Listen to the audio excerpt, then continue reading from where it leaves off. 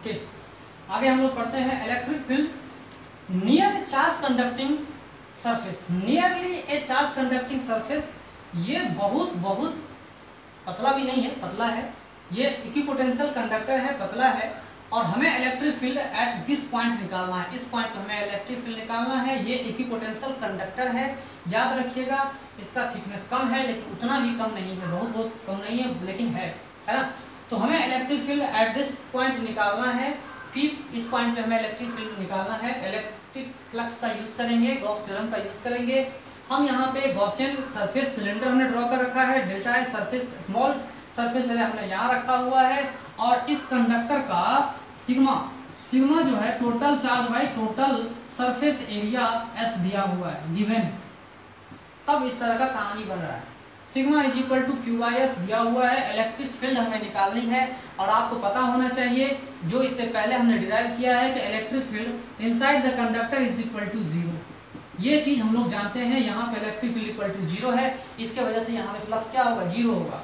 तो यहाँ पे इलेक्ट्रिक फ्लक्स निकालेंगे तो ये क्या आ रहा है? Electric flux E dot surface that is equal to electric flux total electric flux हम निकालेंगे ई इंटू डेल्टा एस और ये जो है total charge enclose divided by K time eps naught हम लिखेंगे।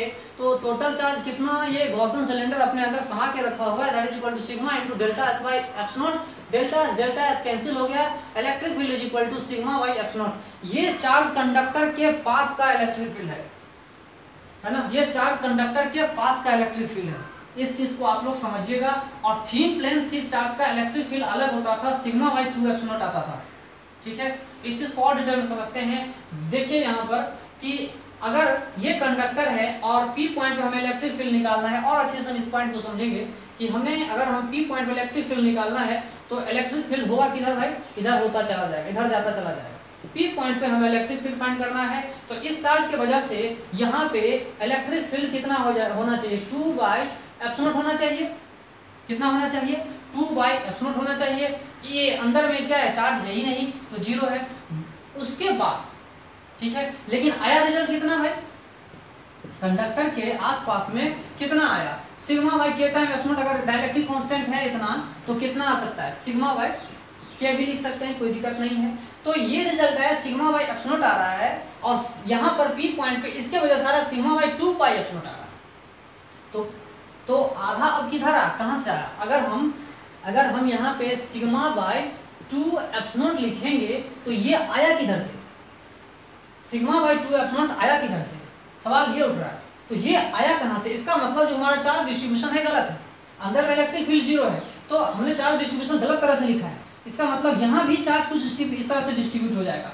अगर आप ये समझो कि टोटल चार्ज अगर इसके इतना है क्यू है, इस कंडक्टर का टोटल चार्ज क्यू है तो क्यू बाई टू इधर आ जा रहा है और क्यू बाई टू किधर आ रहा है? इधर आ रहा है, जिसके वजह से अंदर में इलेक्ट्रिक फ़ील्ड ज़ीरो हो रहा है। यहाँ भी सिग्मा इस साइड भी सिग्मा और यहाँ पर देखिए अंदर में इलेक्ट्रिक फ़ील्ड इसके वजह से इधर आ रहा है, इसके वजह से इधर आ रहा है net electric field inside equal to zero तो ये जो ये जो पार्ट आ रहा है ना sigma by two eps naught ये जो पार्ट आ रहा है, वो इस इस चार्ज पार्टिकल्स के वजह से इतना आ रहा है तो दोनों मिला करके सम कितना हुआ? टू बाई एप्सनोट आ जा रहा है। इस बात को आप लोग समझिएगा कि चार्ज कंडक्टर जो थीम चार्ज कंडक्टर है, उसके आसपास इलेक्ट्रिक फ़ील्ड अगर निकालनी है तो हमें ये फॉर्मूला याद रखना होगा sigma by K time eps naught आ जाएगा where K is the dielectric constant of the this medium जो मेटल के बाहर का मीडियम के है ना? तो और हमने अच्छे से बताया आपको, इतना अच्छा से कहीं नहीं बताएगा, है ना? तो ये जो हम लिखे हैं that is equal to electric field ये जो है इलेक्ट्रिक फ़ील्ड निकला है, और due to a charge conductor charge conductor के वजह से इतना निकला हुआ है, ठीक है? तो इस इतना आप समझ में आ गया आपको तो मैं क्वेश्चन दे रहा हूँ, आप लोग समझिएगा क्वेश्चन क्या है? Sigma is equal to two coulomb per metre square और एप्सनोट की वैल्यू आप जानते ही हैं तो इलेक्ट्रिक फ़ील्ड निकालना है इसके आसपास के रीजन में। कैसे हम इलेक्ट्रिक फ़ील्ड निकालेंगे? तो इलेक्ट्रिक फ़ील्ड का फॉर्मूला मैंने आपको बताया था, अगर इसका हम सॉल्यूशन ढूंढ रहे हैं तो electric field is equal to लिख सकते हैं, सिग्मा बाई एप्स नॉट ये मेटल की कहानी है कंडक्टर की कहानी है. कंडक्टर के प्लेन्स कंडक्ट बड़ा सा प्लेट है. बड़ा सा प्लेट है कंडक्टर के आसपास के और बहुत ही नज़दीक पॉइंट के बारे में पढ़ रहे हैं अभी हम लोग. है ना? सिग्मा बाई एप्स नॉट तो सिग्मा तो मेरा दिया, अगर इसको हम और अच्छे से पढ़ेंगे तो नीचे हम फोर पाई से मल्टीप्लाई कर दें. ऊपर भी फोर पाई से मल्टीप्लाई कर दें. तो कैलकुलेशन आसान हो जाएगा. One upon four pi F naught की वैल्यू कितना आ रहा है? Nine into ten to the power nine into four pi into two ठीक है? अब ये वैल्यू जितना आएगा, उतना आएगा। तो four into three twelve into two twenty four into nine जितना होगा, वो आप लिख सकते हो न्यूटन पर कुलम आंसर आपका आ जाएगा। कोई दिक्कत नहीं। ठीक है? नेक्स्ट क्वेश्चन मैं इसी बेसिस पे आपको क्वेश्चन दे रहा हूँ। मान लो कि इलेक्ट्रिक फ़ील्ड एक कंडक्टर के पास के रीजन में दिया हुआ है that is equal to 18 into ten raise to 20 newton per coulomb दिया हुआ है। ठीक है? तो उसका सिग्मा कितना है? सरफेस चार्ज डिस्ट्रीब्यूशन की वैल्यू कितनी है? ये हमें फाइंड करके बताओ। ठीक है? इसको फाइंड करना काफ़ी आसान है। सिग्मा की वैल्यू जो है, वो कितना होगा? इलेक्ट्रिक फ़ील्ड इनटू एप्सिलॉन की वैल्यू के बराबर हो जाएगा। और एप्सिलॉन का जितना वैल्यू है, वो आप लिख लो, काम बन जाएगा। इस तरह से आप लोग कैलकुलेशन करोगे तो काफ़ी आसान हो जाएगा। यहाँ पे लिखो फोर पाई नीचे में भी लिखोगे क्या? फोर पाई तो four, one upon four pi epsilon नीचे इतना तो फोर पाई से मल्टीप्लाई हो जाएगा तो काम बन जाएगा सिग्मा की वैल्यू जितनी होगी, वो आप लिख सकते हो, कोई दिक्कत नहीं है, ठीक है? इस तरह से क्वेश्चन हम लोग समझ गए तो गॉक्स थ्योरम का यूज़ हमने अच्छे से किया और देखा कि कैसे इलेक्ट्रिक फ़ील्ड आसानी से निकल रहा है, कैसे इलेक्ट्रिक फ्लक्स निकल रहा है, कैसे चार्ज निकाल रहे हैं है ना? काफ़ी आसानी से हम लोग इन सारे प्रॉब्लम्स को समझ सकते हैं। अगर यहाँ गॉक्स थ्योरम नहीं लगाते तो काफ़ी प्रॉब्लम हो सकता था, ठीक है? तो ये गॉक्स साहब को धन्यवाद देना चाहेंगे। उन्होंने ऐसा थ्योरम बताया, जिसके हिसाब से हम लोग पढ़ रहे हैं। काफ़ी आसानी से समझ में आ रहा है। ओके?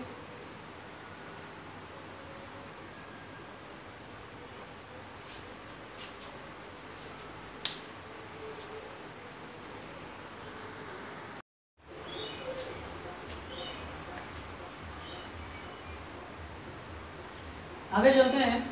हम लोग अब फाइंड करेंगे देखते हैं ऑब्ज़र्व करते हैं स्टडी करते हैं अध्ययन करते हैं कॉन्सेप्ट को क्लियर करेंगे यहाँ पर कि कितने सारे पॉइंट हमने दे रखे हैं P3, P4, P5 आप इस कन्फिग्रेशन को आप देखो तो आपको पता चल जाएगा पी थ्री एक कंडक्टर के अंदर में पॉइंट है P five is also inside a conductor इन दोनों पॉइंट पे इलेक्ट्रिक फ़ील्ड की वैल्यू कितनी होनी चाहिए?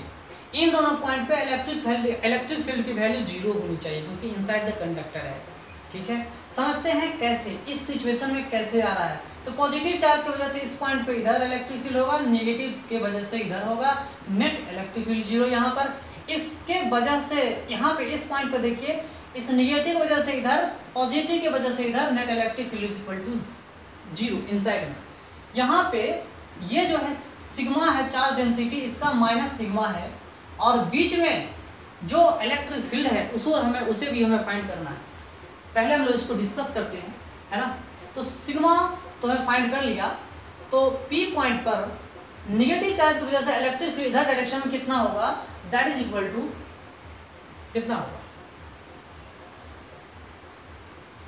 इस चार्ज के वजह से इधर कितना होगा? That is equal to sigma upon two epsilon naught तो पॉजिटिव चार्ज की वजह से इधर आ रहा है इतना नेगेटिव चार्ज की वजह से minus sigma upon two epsilon naught है ना? That is equal to zero P three P five दोनों जगह पे इलेक्ट्रिक फ़ील्ड क्या हो रहा है? ज़ीरो हो रहा है। पी फोर पे हमें फाइंड करना है। आगे चलते हैं। यहाँ देखिए P six P six inside the conductor है electric field equal to zero है। पी एट पे भी electric field equal to zero है और पी नाइन पे भी electric field equal to zero है। तीनों सिचुएशन में electric field equal to zero है।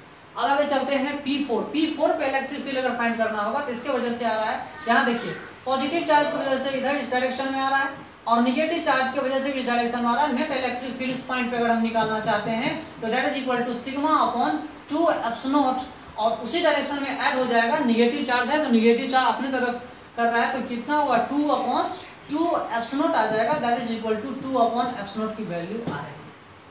ठीक है? आप लोग इसको इस चीज़ को भी देख सकते हैं, कोई दिक्कत नहीं है। इस जगह पे कितनी वैल्यू आ रही है। सिमिलरली पी सेवन पे भी आप उतना ही देखोगे, है ना? पी एट पे भी उतना पी सेवन पे पी नाइन पे इतना ही वैल्यू आप लोग देखेंगे, कोई दिक्कत नहीं, है है ना? अब क्लियर हो गया ये बात। आगे चलते हैं तो समझिए कि इलेक्ट्रिक फ़ील्ड ग्रेजुअली डिक्रीज अच्छा सरफेस है। मान लो ये मिडल का सरफेस है। मेटेलिक सरफेस में सरफेस के पास जो इलेक्ट्रिक फ़ील्ड की वैल्यू है that is equal to sigma upon epsilon जैसे जैसे अंदर जाते हैं सरफेस पे, जैसे जैसे जा रहे कंटिन्यूअसली डिक्रीज नहीं करता कंटिन्यूअसली चेंज नहीं करता, है ना? सॉरी डिसकंटिन्यूअसली चेंज नहीं करता कंटिन्यूअसली चेंज करता है। तो electric field gradually decreases from sigma upon epsilon to zero in a small thickness of about 4 to 5 atomic layers at surface इस सरफेस पे मान लो मेटल का सरफेस है इस सरफेस के अंदर जब जाते हैं तो electric field equal to zero आ रहा है। लेकिन सरफेस पे कितना वैल्यू आ रहा है? सिग्मा अपॉन एफ़ नॉट और जैसे जैसे धीरे धीरे अंदर अंदर जाते हैं, वैसे वैसे इलेक्ट्रिक फ़ील्ड क्या होता है? ज़ीरो होते चले जाता है। है ना? तो उस चीज़ को हमको समझना होगा, जानना होगा। तो देखिए, इस बात को अच्छे से समझिएगा कि कंटिन्यूअसली डिक्रीज करता है from sigma upon F naught to zero in small thickness of about 4 to 5 atomic layers of the surface इतना थिकनेस पे ज़ीरो हो जा रहा है। कंटिन्यूअसली डिक्रीज हो रहा है। डिसकंटिन्यूअसली डिक्रीज नहीं हो रहा है। इस कॉन्सेप्ट को आप लोग समझिएगा। है ना? फिर हम लोग पढ़ेंगे electric potential energy electric potential energy इससे पहले हम लोग ग्रेविटेशनल पोटेंशियल एनर्जी पढ़ चुके हैं। काफ़ी आसान था समझना उसको। ग्रेविटेशनल पोटेंशियल एनर्जी को काफ़ी आसान समझना था। और इससे, इसके बाद हम लोग वही पढ़ेंगे इलेक्ट्रिक पोटेंशियल एनर्जी अभी हम लोग इलेक्ट्रिक पोटेंशियल एनर्जी पढ़ रहे हैं। दोनों को दोनों कंजर्वेटिव फील हो रहे हैं। ठीक है? तो इसमें हम लोग सबसे पहले पढ़ते हैं change in electric electric potential energy जिस तरह से ग्रेविटेशनल फ़ील्ड में पढ़ते थे change in gravitational potential energy इसको हम लोग डिफाइन करते हैं। Change in gravitational potential energy या नहीं तो change in electric potential energy को हम लोग डिफाइन करते हैं। चेंज को हम डिफाइन करते हैं। नेट पोटेंशियल एनर्जी को हम लोग डिफाइन नहीं कर पाते हैं, है ना? तो change in gravitational potential energy या नहीं तो change in electric potential energy को हम डिफाइन करते हैं। वो डिफिनेशन आता है negative of work done by electric forces and that is equal to और negative of work done by the electric forces that is equal to change in electric potential energy और इसके वजह से क्या हो रहा है? कॉन्फ़िगरेशन चेंज होता है। है ना?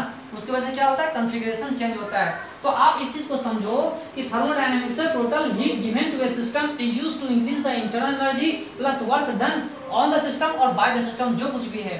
तो इस तरह से हम लोग थर्मोडायनेमिक्स पढ़ते हैं। Total heat given is equal to used to increase the energy and work done on the system है ना? तो टोटल हीट है इंटरनल एनर्जी है वर्क है। लेकिन इस, अभी जो सिचुएशन हम लोग कर रहे हैं हीट ही हीट ही ज़ीरो है। हीट जो ज़ीरो आ रहा है तो चेंज ग्रेविटेशनल पोटेंशियल एनर्जी क्या होगा? माइनस ऑफ़ वर्क डन ये कोई ये कोई डिफिनेशन नहीं है, ये फॉर्मूला है, ये एनर्जी कंजर्वेशन पे बेस्ट है। तो निगेटिव ऑफ़ वर्क डन ये gravitational potential energy electric potential energy क्या है? Negative of work done by electric forces यहाँ इलेक्ट्रिक फोर्सेस पढ़ रहे हैं ग्रेविटेशनल फोर्सेस नहीं पढ़ रहे। हैं negative work done by the electric forces उसे हम बोलते हैं क्या? Change in electric potential energy तो यहाँ डी यू लिखेंगे तो यहाँ डी डब्ल्यू आ जाएगा, है ना? तो इस तरह से हम लोग समझेंगे, अच्छे से समझते हैं कि क्या होता है electric potential energy electric potential energy at a point हम लोग बता सकते हैं, लेकिन डिफाइन कैसे कर सकते हैं? तो डिफाइन करेंगे change in gravitational potential sorry change in electric potential energy सबसे पहले डिफाइन करेंगे then after we will define electric potential energy okay?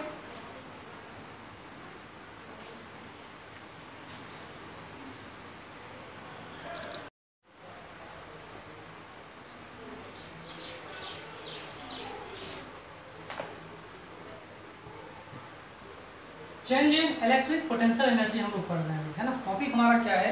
Change in electric potential energy हम उसको डिफाइन कर सकते हैं। डिफाइन किया था negative of work done by electric forces तो यहाँ पे एक्सटर्नल एजेंट के द्वारा Q2 चार्ज को डिस्प्लेस किया जा रहा है, पहले R1 सेपरेशन पे था। R1 सेपरेशन R, यहाँ मान लो R सेपरेशन हमने रखा हुआ है, और इनिशियली R1 सेपरेशन पे था A A B is equal to R और फिर A C is equal to R तो हमने एक्सटर्नल एजेंट के द्वारा इस Q2 चार्ज के ऊपर हमने इधर डिस्प्लेस किया। और Q1 को हमने फिक्स रखा। Q1 को हमने क्या रखा है यहाँ पर? फिक्स करके रखा हुआ है। ओके इसीलिए work done on Q2 Q1 is equal to zero work done on Q1 is equal to zero work done Q1 के ऊपर कितना वर्क डन हो रहा है? ज़ीरो हो रहा है, क्योंकि उसको डिस्प्लेस नहीं किया जा रहा फिक्स है। डिस्प्लेसमेंट इक्वल टू ज़ीरो है। Work done equal to zero होगा। तो इस कहानी को समझिएगा। एक चार्ज को हमने फिक्स कर रखा है, दूसरे को मूव करवा रहे हैं। दूसरे को मूव करवा रहे हैं। जब इसको R1 separation R separation DR DR थोड़ा सा स्मॉल डिस्प्लेसमेंट इसको इधर मूव करवा रहे हैं तो वर्क डन कितना work done by external agent is equal to what तो work done by external agent is equal to this A B के डायरेक्शन तरफ़ है। तो एक्सटर्नल एजेंट के द्वारा जो वर्क हो रहा है, वो वो इतना कम, इतना होगा जितना इनके बीच में इलेक्ट्रिक फोर्स होगा। ठीक है? जो उतना ही होगा जितना इलेक्ट्रिक फोर्स के बराबर होगा। और विदाउट एसेलरेटिंग बिना एसेलरेशन किए वेरी वेरी स्लोली धीरे धीरे इसको डिस्प्लेस करेंगे। इसमें काइनेटिक एनर्जी को इन्वॉल्व नहीं करना है। किसी भी तरह के एनर्जी को इन्वॉल्व नहीं करना है। मैंने पहले बता दिया heat is equal to zero किसी दूसरे तरह के एनर्जी को इन्वॉल्व नहीं करना है तो हम अच्छे से change in electric potential energy को डिफाइन कर सकते हैं।